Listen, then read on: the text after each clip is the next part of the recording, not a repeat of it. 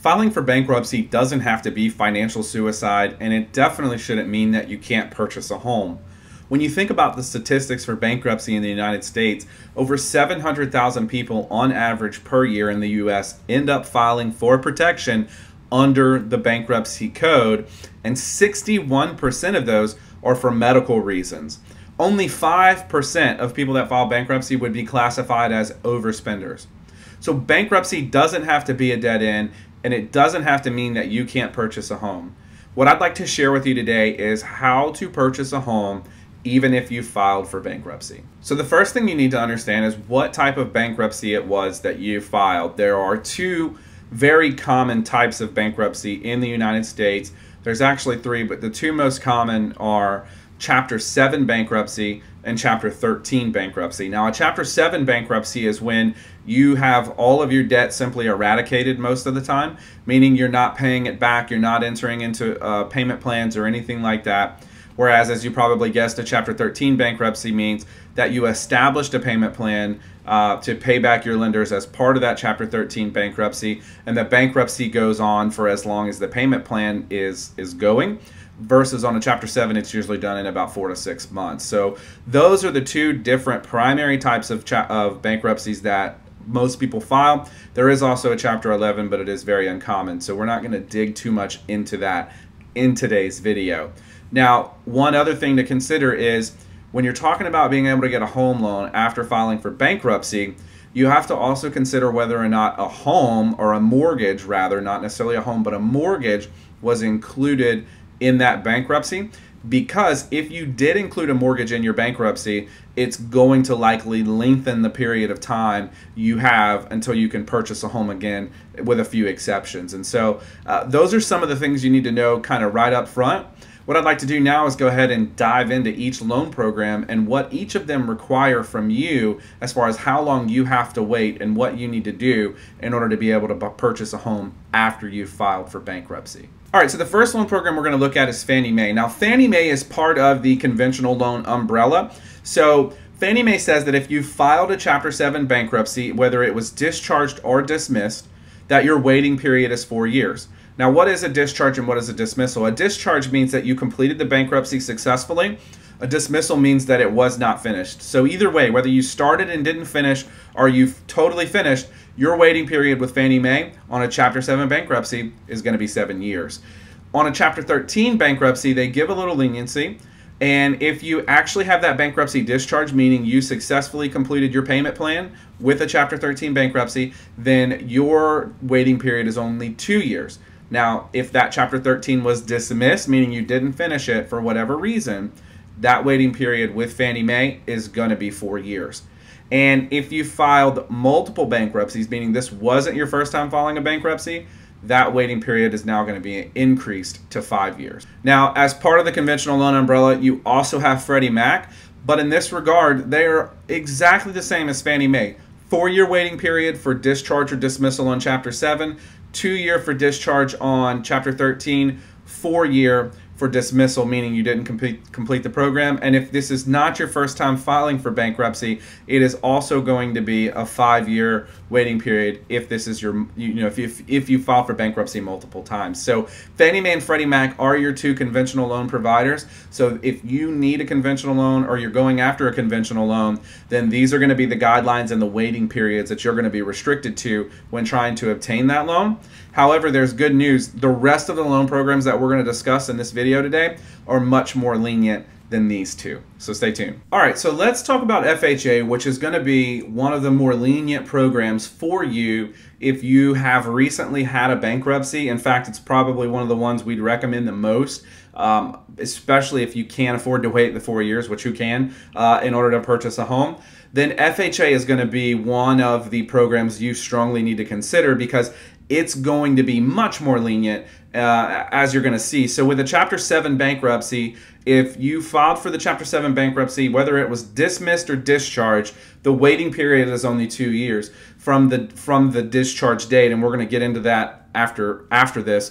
But but the waiting period from for the chapter 7 bankruptcy is only 2 years. Now a chapter 13 is going to be even more flexible than a chapter 7 when you file a chapter 13 you can do 1 year from the discharge date if manually underwritten or two years if you try if you need to do automated approval. And there are some reasons why you wouldn't be able to go manual and, and you would need to go auto- automated. Um, i can't cover all that in the video but um, most people can go manual. Um, you can also with fha here's something really cool. If you filed a chapter 13 and you're still in the payment plan then with your trustee's permission you can also get a fha loan if you get their permission after you've made 12 months of on-time payment. So that's a really really cool thing because it doesn't it means that in a chapter 13 you don't have to wait 5 years or 4 years or 3 years or however long that payment plan is in order to purchase a home. You can get your trustee's permission, get it written and documented by the court, provide that to us, and then we can use that to do a manual underwrite on that chapter 13 bankruptcy and get you in a home that you've really you've been wanting for a long time. We literally just we do two or three of these a month and so it's really really cool to be able to help people do that. So those are just some of the ways that the FHA loan are more flexible than the USDA loan. Uh, the other thing is that there's no waiting period or additional waiting period if you file bankruptcy more than once. So it is strictly the one and two years that we just discussed. Now the next loan program that I want to discuss is the VA loan, how to get a VA loan with a bankruptcy. Now, one of the things you need to understand is that there's a lot of big box VA lenders that you see advertising online, and maybe you've been working with them and that's why you've come and found this video. You, if you have a bankruptcy and it's anything outside of what we're going to discuss, then you're likely going to be told that you don't qualify by one of these big bank uh, VA lenders. So, what I want you to know is that the VA says that Chapter 7 and Chapter 13 bankruptcies are both two years from the discharge date. That's right, they're both two years from the discharge date. But what I also want you to know is that VA is very flexible within their credit requirements. For instance, we can we can underwrite VA loans down to a credit score of 500 when many of these big box stores are going to tell you you need a 620 which is just crazy uh, the VA is the most flexible program their goal is to help as many veterans as possible get into homes and that's our goal as well and so with manual underwriting, if your bankruptcy was a result of an extenuating circumstance, which we're also going to cover here in a little bit, you have some flexibility in what you can what you can do in order to be uh, qualified for that home loan uh, in a sooner time frame than even the two years. So, as a general rule of thumb, with a bankruptcy, you're going to have that two year waiting period with the chapter 13 or chapter 7 they don't really make much of a distinction as far as the two bankruptcies are concerned but two years is not a long time because that gives you time to boost your credit score get it where it needs to be so your rate can look good or, or uh, you know you can have an affordable payment and all that good stuff. But but two years is what the va says you need to do. But remember there's always extenuating circumstances. And if you want to know more about that Stay tuned to the end of the video where I'm going to discuss that. All right, so let's talk about one of our other favorite programs because like the VA loan, it's also a zero down payment program. Let's talk about USDA Rural Development. The USDA Rural Development Program is a little bit more strict than FHA when it comes to Chapter 7 bankruptcies. They say that the waiting period is going to be three years on a Chapter 7 bankruptcy. But they're lenient on Chapter 13s. They will allow you to get a Chapter 13 uh, bankruptcy, you can get a home after your Chapter 13 has been dismissed for one year. And like FHA, if you've made a year of on time payments, you also have an argument to be able to get the loan once you've made 12 months of on-time payments. So again, not quite as flexible as VA, not quite as flexible as FHA, but still very mm-hmm. flexible compared to conventional with regards to being able to get a mortgage after you filed for bankruptcy. Now let's talk about jumbo loans, right? A jumbo loan is going to be any loan over the county loan limit, and that changes every year. Right now it's around 600,000. That goes up every year quite substantially. So, you know, depending on when you're watching this video, it may be higher than that. But whatever your county loan limit is, you can Google this. A jumbo loan is going to be any loan where you're borrowing more than that. And so with a jumbo loan, they're also going to kind of be strict like the conventional loans as far as the bankruptcy waiting periods go. While underwriting guidelines do fluctuate from lender to lender, you should expect at least a four year waiting period. Some may make you go as long as seven years when obtaining a jumbo loan. So if, if you filed bankruptcy and it hasn't been four years, then a jumbo loan may not be the right fit for you at this time. At least not a agency jumbo loan, meaning a conforming product jumbo loan, right? It's probably not going to be the best fit for you at this particular moment because of the waiting period. You either have to wait or you'll have to find a different product like non-QM, which we're going to talk about next, or, you know, purchase a home that's a little bit of a lower amount.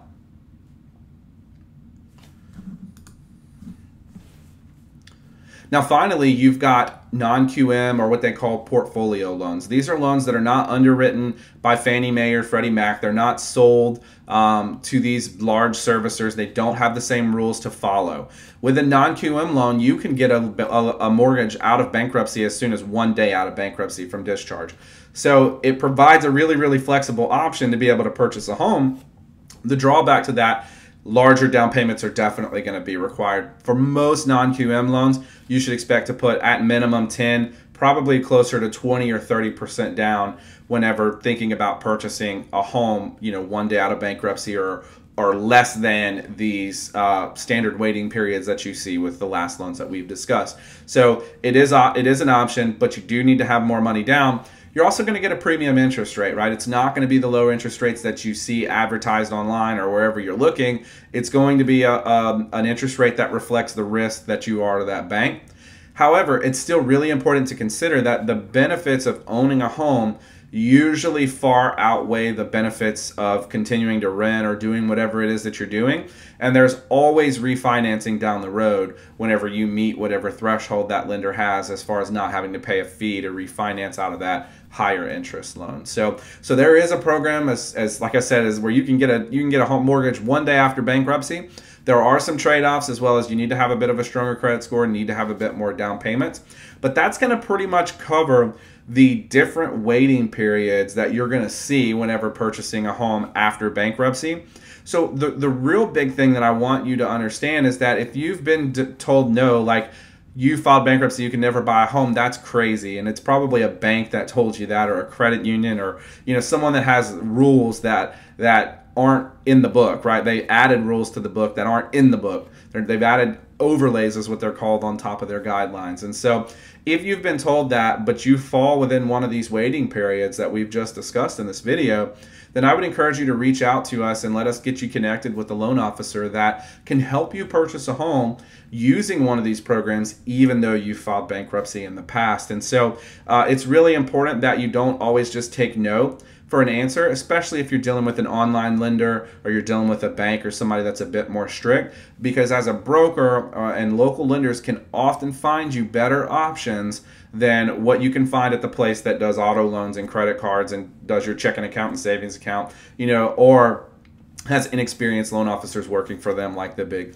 online lenders do. So so definitely consider that because we'd love to help you if you find yourself in that position. We'd love to be able to show you ways in which you can either purchase a home now or when you could actually purchase that home. Now, one additional thing, and I alluded to it at the beginning that I want to discuss, is what happens if you've got a mortgage tied into that bankruptcy and your mortgage gets foreclosed on or you've had a short sale or something like that.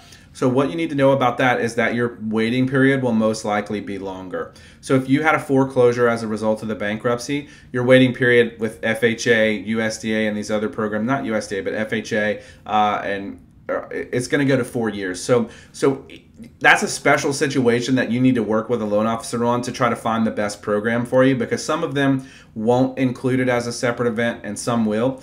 But just expect that your waiting period will be somewhere between three to four years if you had a foreclosure within your uh, bankruptcy. And it's very similar for short sales and um, deed in lieu and, and all those different types of things.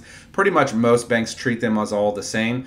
The, the main difference is that conventional loans treat a foreclosure with a different waiting period. You got to wait seven years to get a conventional loan if you had your loan foreclosed on. But FHA and, and of course like the others they're they're more flexible with that four year waiting period. So I just wanted to touch on that really quickly so that you understood um, you know that there is a little difference if you had your mortgage foreclosed on but we can also work with you on that and kind of help you understand that. All right so the last thing I want to talk about is how you can avoid the waiting periods. Like is there ever a situation where you don't have to become subject to those waiting periods and you can still buy a house and the answer is yes, they call that extenuating circumstances, and it's available for use on all of these loan programs, but primarily FHA, USDA, and VA.